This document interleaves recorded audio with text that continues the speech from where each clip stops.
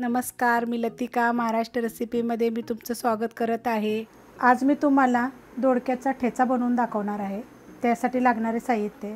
पण त्याआधी चॅनलला सबस्क्राईब करा आणि बेल आयकॉनवर क्लिक करा. दोन दोडके घेतलेले आहेत ती. कवळी आहेत बघा एकदम. अशी बघा एकदम कवळी दोडकी घ्यायची. निबार घ्यायची नाही ती. निबार ना दोडक्याचं खीस करायसाठी चांगलं खीस सुकी भाजी अशी असते तशी करायसाठी जरा निबार घेतला तरी चालतो. पण कवळा ठेच्यासाठी घ्यायचा चटणीसाठी घ्यायचा. तर ह्याचं काय करायचं? ह्या शिरा मी काढून घेणार नाहीत कारण हा दोडका भरपूर कवर आहे. ह्याच्या शिऱ्यांची ना चटणी बनते छान चविष्ट. तर आपण ना ह्याच्या शिरा नाही काढायच्या फक्त हा बुडका आणि हे दोन्ही फक्त काढून घेणार आहे. आणि हा दोडका मी ना खिसून घेणार आहे. तर बारीक मोठा तुमच्या प पसंतीनं खिसा. पण बघा आतनं किती कवळा आणि छान ह्याचा ठेचा एक तर छान लागतो चवदार. बघा आता हे खिसणी मोठी पण आहे आणि छोटी पण आहे. तर एकदम जर छोट्या ह्यानं जर केलं ना तर त्याचं पाणी जास्त होईल. म्हणून छोट्या ह्यानं जास्त करायचं नाही खिसायचं. मोठ्या ह्यानं तो आपण खिसून घेऊया. मी आता हे तुम्हाला खिसल्यानंतर दाखवते पण आपण ह्याच्या शिरा काढायच्या नाही आहेत बिन शिरा काढता दोडका खिसून घ्यायचा आहे. कारण ह्याच्यामध्ये बघा जर निवारा असला ना तर ह्या शिरामध्ये बघा दोरासारखं असतं.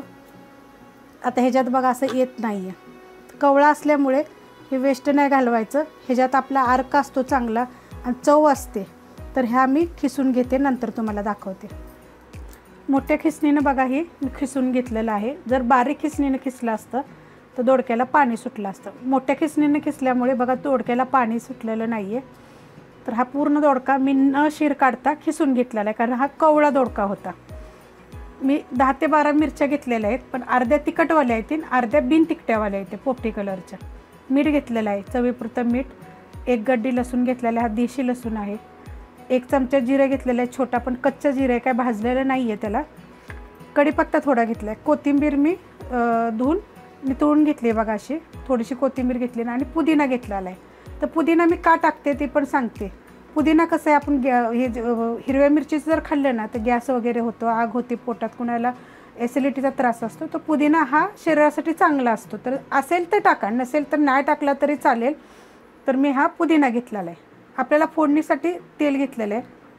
मी शेंगदाणे घेतलेले आहेत बघा पन्नास ग्रॅम शेंगदाणे भाजून आबडधोबड कुटून घेतलेले आहेत. तर ह्याची मी साल नाही काढले साली सकाट मी ही कुटलेले शेंगदाणे ती बारीक मोठे असे कुटलेले आहेत. आता हे जे एवढं जे साहित्य आहे समोर हे मी खलबत्त्यामध्ये कुटून घेणार आहे. तुम्ही हे मिर मिक्सरला जर बारीक करून घेतलं तरी चालेल पण जास्त बारीक करायचं नाही आबडधोबड करायचं त्याची चव वेगळी येते. तर मी आता हे सगळं एवढं कुटून घेते. ह्या खलबत्त्यात बघा मी शेंगदाणे कुटून घेतले होते. तर ह्याच्यामध्ये हा मिरच्या अर्ध्या तिखटवाल्या तर अर्ध्या बिनतिखटाच्या तुमच्या तिखटाप्रमाणे टाका. तुम्ही जर कमी तिखट खात असेल तर कमी टाका. लसूण तर घेतलेला आहे. जिरा छोटा चमचा घेतलेला आहे. आता हे बघा मोठं मीठ आहे चवीप्रमाणे घ्या तुम्ही. पुदिना घेतलेला आहे. आणि कोथिंबीर. कढीपत्ता.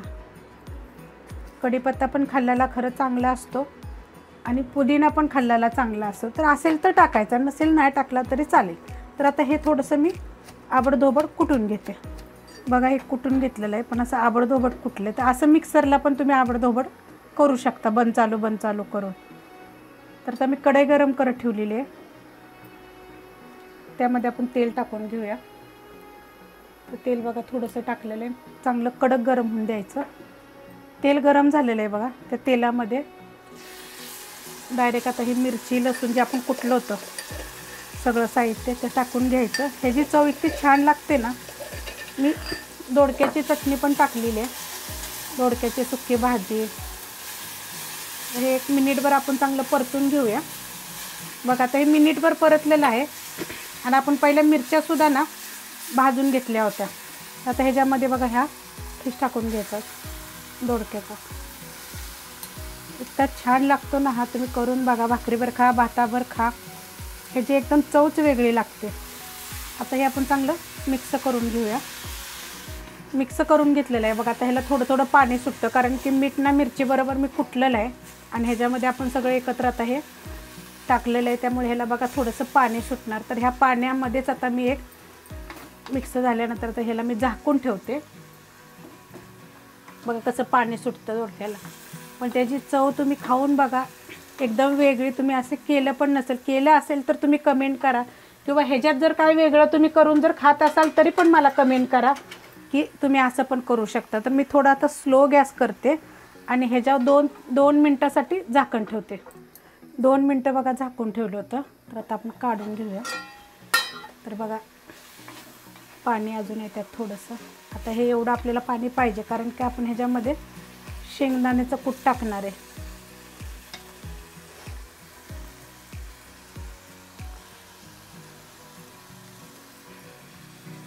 आता हे एकत्र मिक्स करून घेऊया. आणि स्लो गॅस होता तर थोडासा फास्ट गॅस करूया आपण कारण स्लो गॅसवर मी दोन मिनटं झाकून ठेवलं होतं. ते एकसारखं चांगलं परतून घ्यायचं बघायला. आता हे बघा हे चांगलं मिक्स झालेलं आहे. आता ह्याच्यामध्ये परत मी बारीक करून कारण शेंगदाणे ना खाताना टस्टच लागतील आपल्याला. ह्यात अजून पाण्याचा अर्क आहे. आणि आपल्याला हे जेवढं होता होईल एवढं ना हा दोडक्याचे ठेचा सुक्का बनवायचा आहे. तर आता एकदम स्लो गॅस करते. आणि परत आपण दोन मिनटं झाकण क ठेवूया याच्यावर दोन मिनटं बघा बारीक गॅसवर झाकून ठेवलं होतं.